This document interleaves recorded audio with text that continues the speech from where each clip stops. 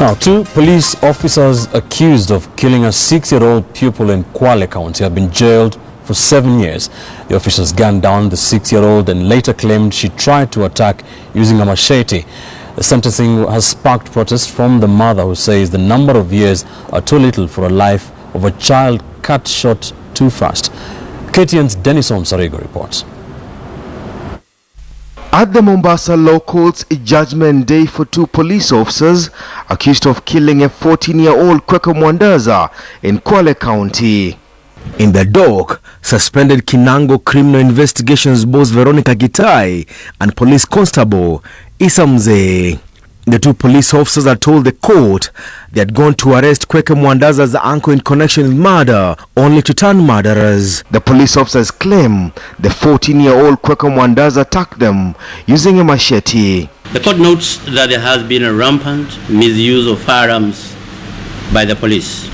But it was the evidence of the 8-year-old cousin, George Mogandi, who contradicted the police theory. Tukaamka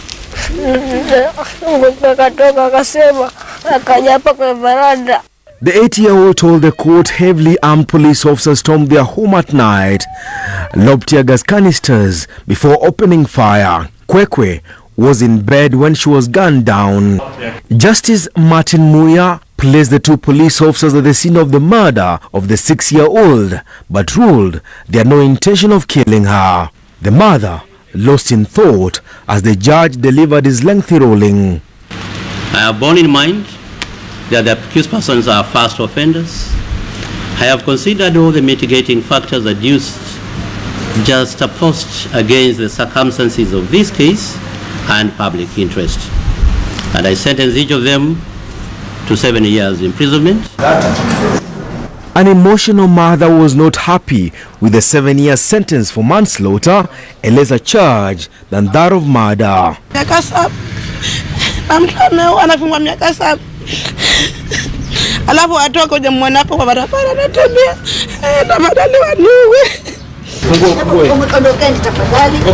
The killing of her child, too painful, too sudden for her only daughter.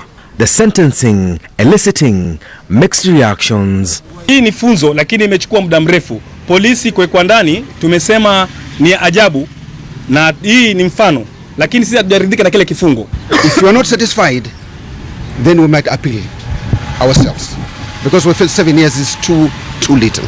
The defense had wanted the two police officers compelled to compensate the family, but the judge ruled the family can pursue a new line of prosecution. They are at liberty to institute civil proceedings against the accused persons and the government as the employer, and therein lies proper and adequate compensation. As the two police officers added to the number of prisoners in Kenyan jails, it was closure for now as the wheels of justice finally came to a halt two years later after the brutal murder of Kwekwe Mwandaza. Denson Sarigo, KTN News.